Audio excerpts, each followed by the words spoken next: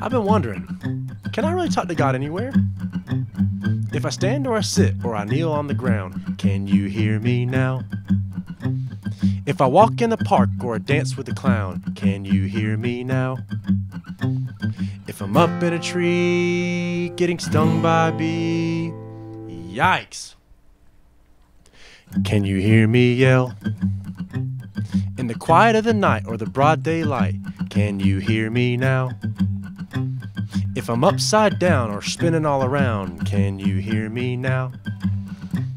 If there's a spider on my knee or I'm watching TV, wait, did someone say spider? Can you hear me now? I want to know, what can I say that you won't hear me? God, is there anywhere I can be where you aren't near? No, he's literally everywhere. Really? Huh. Well, I guess that answers that.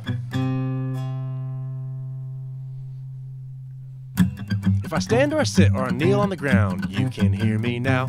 If I walk in the park or dance with a clown, you can hear me now. If I'm up in a tree or getting stung by a bee, owie, you're for sure gonna hear me now. In the quiet of the night or the broad daylight, you can hear me now. If I'm upside down or spinning all around, you can hear me now. The spider on my knee or I'm watching TV, you can hear me now.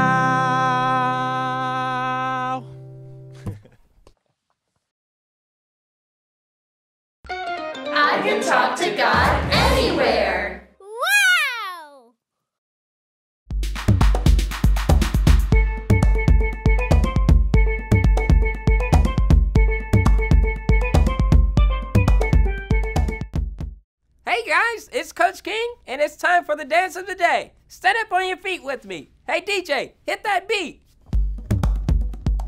Watch me. Snap, one, two, three, snap. One, two, three, snap. One, two, three, snap. Now you guys are gonna join me, alright? Ready? And go.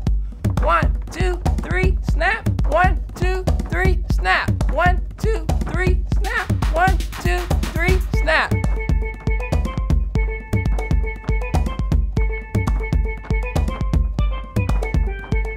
Looking good.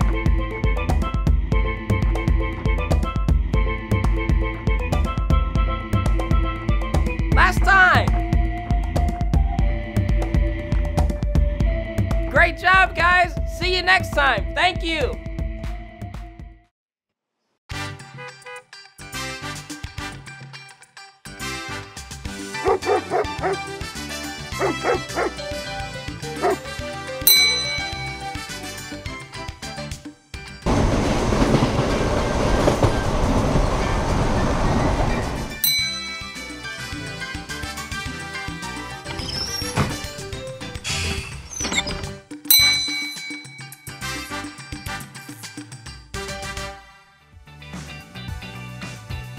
The best help anyone can ever get comes from asking God. He is the ultimate source of wisdom. In the book of Acts, Peter knew it was important to tell other people about Jesus, but he got in trouble for doing it and was sent to jail. Peter's friends were very concerned about Peter and decided they needed God's help.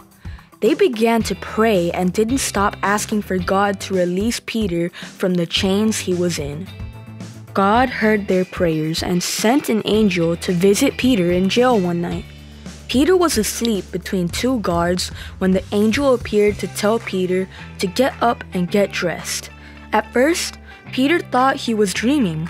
He followed the angel out of the prison gate and into the city. When the angel left him, he could not believe he was free. He went to Mary's house where his friends were together praying for him. When he knocked on the door, a young girl heard his voice and got so excited she ran to tell the others that Peter was free. But she forgot to open the door. But Peter kept on knocking. When Peter's friends finally opened the door, they were amazed that God had heard their prayers and had helped free Peter from jail. As we run the race of life, just like Peter did, we need to remember that we can keep on praying. It's the best and wisest thing to do for help.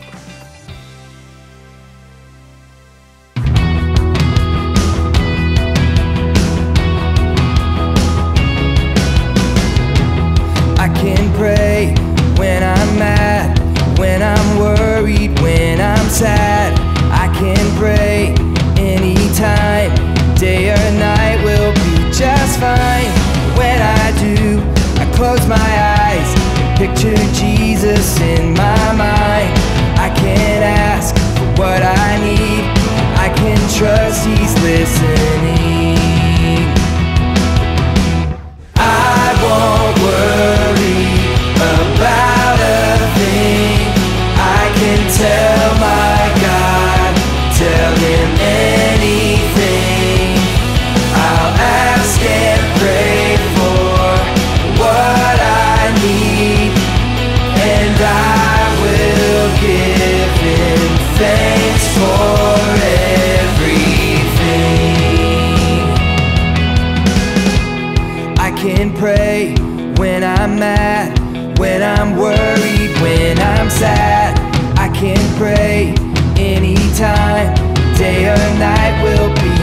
Fine.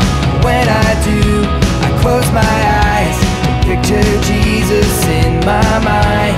I can ask what I need, I can trust He's listening.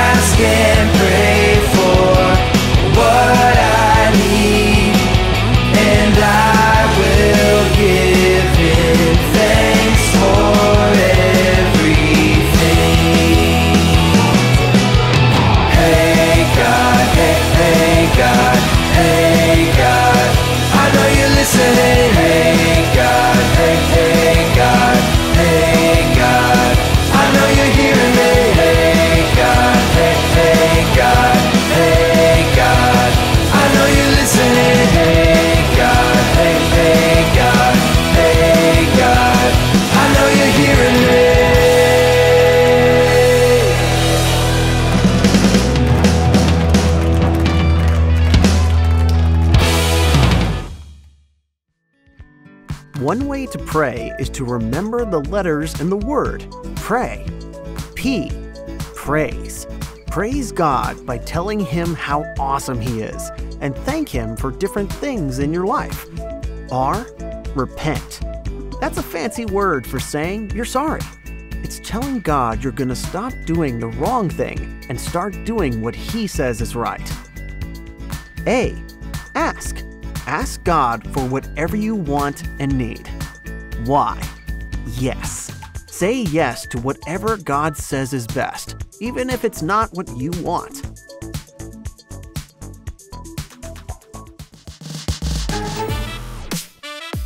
What's for lunch? God, up. Did you catch that? God, no. Hot dog. Mmm. Yum. Have you ever noticed that when you get quiet, you actually hear better? Our lives are filled with so much noise. Just think about how loud it is on the bus when your friends are all trying to talk at once. Despite the noises all around us, we need to set aside time each day to get quiet with God and grow our friendship with Him. Jesus set a great example for what it looks like to find a quiet place and spend time with God. Jesus' life was just as busy, if not more busy, than ours. He did a lot of normal stuff with his friends, but he also spent time traveling to different places and helping the people he met. He would teach them about God's love, and they would ask him a lot of questions. Jesus was always willing to do anything he could for others, but he also knew he needed to set aside time to rest. Even though he was God's son, Jesus made sure he got quiet and spent time with his heavenly Father. One of the times Jesus liked to get quiet was in the morning. In the book of Mark, Jesus had spent the evening healing and helping people. This could have made Jesus very tired, but instead of sleeping in, he got up before the sun to find a quiet place, and to no surprise, his heavenly Father was ready and waiting to spend time with him. Jesus knew that despite all the important things he was doing, nothing was more important than his friendship with God. Even when Jesus was busy helping crowds of people, he would get away by himself to talk to God and listen to what God had to say. Whenever Jesus would spend time with God, it helped him have the power and the strength to keep healing sick people and helping others he met. Jesus also liked to spend time with God outdoors. In the book of Matthew, we see that Jesus was with his friends in the Garden of Gethsemane. He told them to stay where they were so he could get alone to pray. You see, Jesus knew the time was coming for him to take the punishment for the sins of the world. He could have chosen to talk to his friends about what he was feeling, but instead, Jesus knew his heavenly Father was the best person to talk to. Jesus realized if he set aside time to get quiet with God, he could hear what his Father had to say. When we take time to listen to God, we can hear him too. It doesn't really matter where you go, just make it a habit to get quiet every day, and soon your friendship with God will grow. I can talk to God anywhere.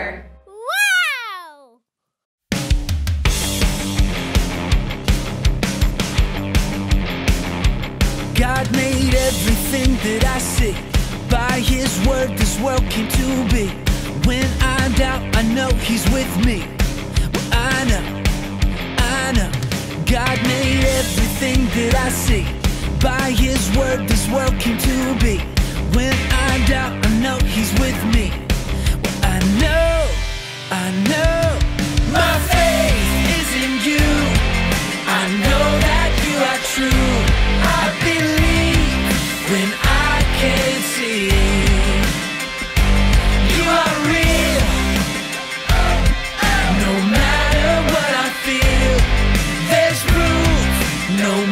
Mystery.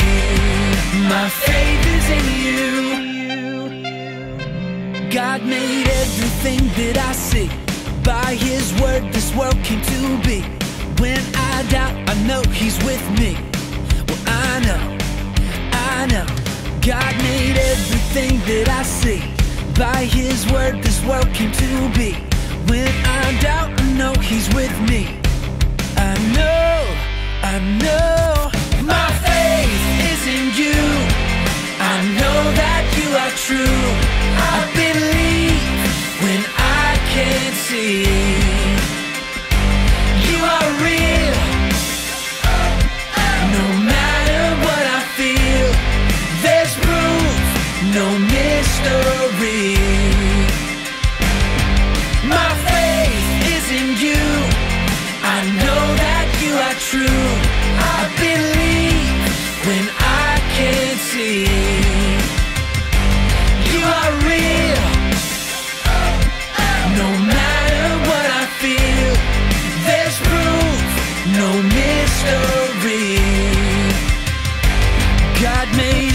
everything that I see. By His word, this world came to be. When I doubt, I know He's with me. Well, I know my faith is in you. We can talk to God about anything, anytime, anywhere. He is always with us and He's always listening. You could be in the middle of class, afraid that you're going to bomb your math test, or you could be in your room all by yourself playing worship music as loud as you can stand it. The time, the place, and the subject doesn't really matter. What matters is opening your heart to God and telling Him everything. Because we can literally talk to God anywhere, let's practice talking to Him right now. Go ahead, get still and quiet wherever you are, and get your heart ready because we are going to pray. If it helps you, you can even close your eyes. First, we are going to praise. Take a minute and tell God something that you're thankful for. You can say it out loud or quietly in your heart, but go ahead, I'll wait.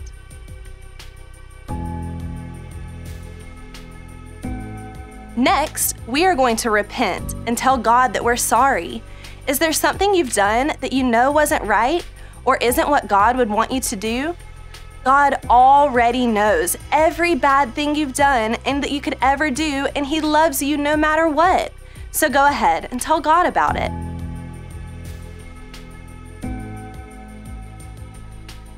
Next, let's ask God a question. Sometimes we don't have the things that we really want because we haven't asked God for them.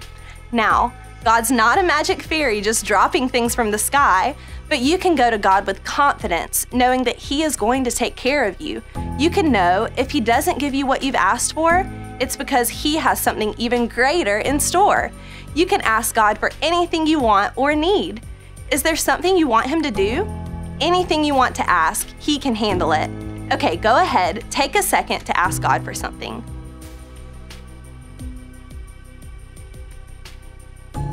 Now, let's get really quiet. Listen for God's voice to say something to your heart.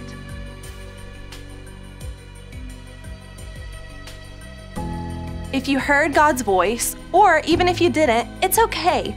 Just like you can talk to God anytime and anywhere, He can talk to you anytime, anywhere too. So keep listening for Him each day. Finally, we are going to say yes to God. Let's tell God that whatever He wants us to do, we're all about it. Say this after me out loud or in your heart God, whatever you want me to do, the answer is yes. I trust you and I love you. Amen. You did it! You just talked to God. I hope you've learned that God loves you. He is always with you. And if you're talking, He is listening. I can talk to God anywhere. Wow! People all over the world know that they can pray in any way. Yere, tanki da ti mai li fet. Marigi anelngal sobe